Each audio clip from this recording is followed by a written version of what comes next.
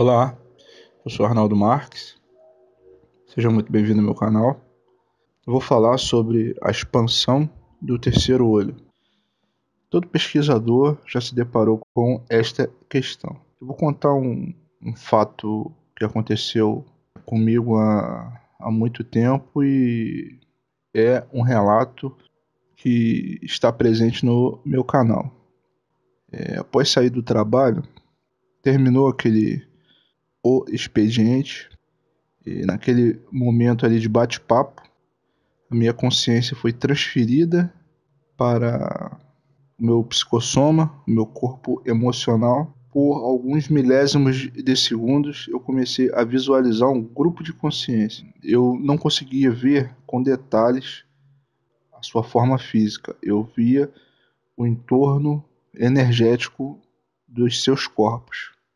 O interessante disto que eu observava é, até as roupas, pois como eles eram pequenos, as consciências desencarnadas que já se encontram em locais mais tranquilos, em locais felizes, que já ultrapassaram é, as questões emocionais, não são grandes, têm o seu corpo energético pequeno. Então eles aparentavam ter ali um metro e pouco, um metro e vinte no máximo. E a, a energia de seus corpos estava vinculada às suas vestes. Então eu vi o contorno, eu via o contorno do vestido destas consciências, das roupas. Então eu vi aquela aquela energia um pouco leitosa, mas que se destacava bastante, mas ao mesmo tempo, após retornar, eu percebi que não tinha se passado muito tempo ou tempo nenhum, pois o tempo ele é uma forma do homem se encontrar no próprio espaço. Quando a minha consciência foi transferida para o psicossoma, me pareceu que estar imerso naquela realidade, o tempo não passava e foi uma questão o tempo pareceu que se dividiu. Enquanto eu estava lá observando esse grupo de consciências, eu pude sentir a energia que eles me enviavam. Era de saudade, de preocupação. Eles queriam que eu visse eles, que eu pudesse sentir a presença deles. É algo que você acaba sentindo, captando ao longo das questões que você faz consigo mesmo. Você se questiona quem eram aquelas consciências, porque eles estavam ali, que grupo era aquele e as informações vão chegando. As informações voltam, as informações daquele processo, aquela experiência, ela continua. Ela vai se expandindo, ela vai e respostas vão chegando quanto àquele momento que você viveu. Então, como eu já disse em meu canal, nenhuma experiência ela termina quando despertamos no corpo físico.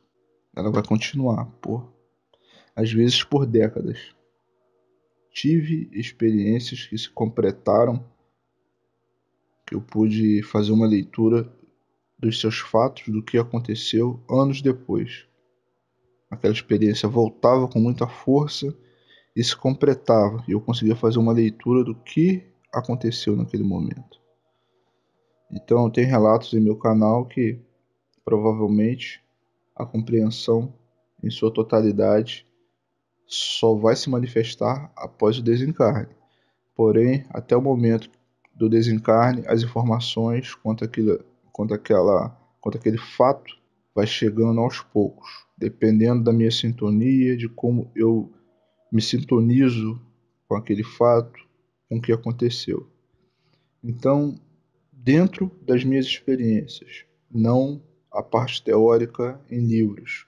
A manifestação do terceiro olho ela se completa entre a clarividência e esta capacidade de enxergar e compreender o que está acontecendo. Então, a partir do momento que você se sintoniza com o seu corpo energético, que tem uma capacidade de compreensão daquela realidade, você tem que estar atento para os ensinamentos que aquela vivência trarão para você. Então, a compreensão que vem a ser o terceiro olho é muito maior do que puramente está escrito em livros, mas é bom que você tenha uma noção para que você dê o primeiro passo naquela direção. Então você vai encontrar uma teoria muito grande, porém a compreensão ela se fará necessária a partir do momento que você começa a vivenciar. Então, por mais que a literatura me diga uma coisa, eu observo também dentro daquele espectro, criando perspectivas muito pessoais. Exemplo, quando eu participei de um resgate, que as consciências estavam em regiões densas. Durante a manhã, eu fui intuído a enviar energia para um grupo de consciências que estavam em áreas densas para fazer um resgate. A equipe espiritual se aproximou, senti a presença, liberei energia para esse grupo de consciências.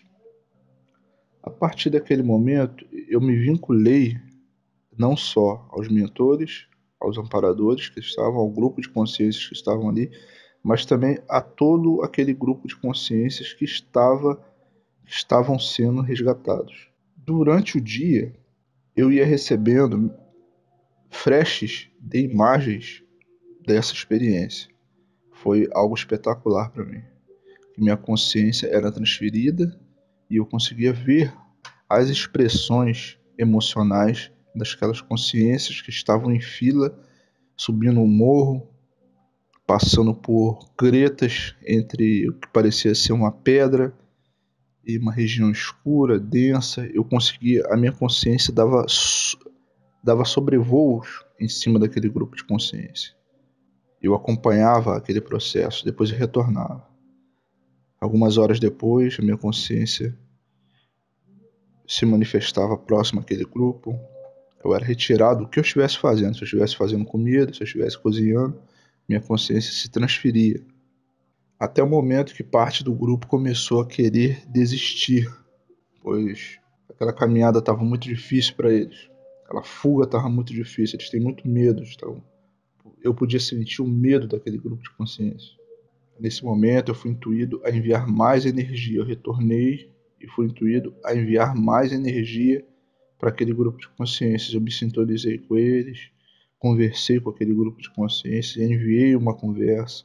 Eu disse que era comum aquelas dúvidas, aquele medo iria passar, eles iam encontrar os seus antepassados, eles iam para um local melhor, sem aquele medo, sem aquela angústia que eles estavam acostumados. Retornaram à caminhada. Enviei mais energia para aquele grupo. Eu pude acompanhar, retornei ao meu corpo físico. Horas depois, eu me sintonizei com aquele grupo também, assim novamente, no topo dessa montanha que eles estavam subindo. O mais interessante estava por acontecer. Minha consciência estava no topo dessa, dessa montanha. Eu olhei para baixo, era uma parte de pedra, uma montanha com uma pedra, uma, uma pedra muito íngreme. E lá embaixo, rente ao mar, tinha uma estrada muito fina, onde havia um veículo e uma consciência vestida de branco, esperando eles já. Já estavam à espera dessa consciência. Eu me recordo como se eu tivesse vivido essa experiência hoje ainda está muito viva. O desespero desse grupo de consciências descendo para escapar daquela realidade, tropeçando, rolando, eles conseguiram se, se libertar. Quando eles encontraram esse grupo de consciências, a minha consciência, o meu olhar se voltou para, para aquele vale escuro. No momento que eu, que eu tentei visualizar aquele vale escuro, eu senti a mudança vibracional, a densificação da energia daquele local. Que aqui no corpo físico a gente entende como frio esta mudança de energia. Consegui sentir frio quando a minha consciência mudou de vibração no topo daquele morro, no topo daquele, daquela montanha próximo ao mar.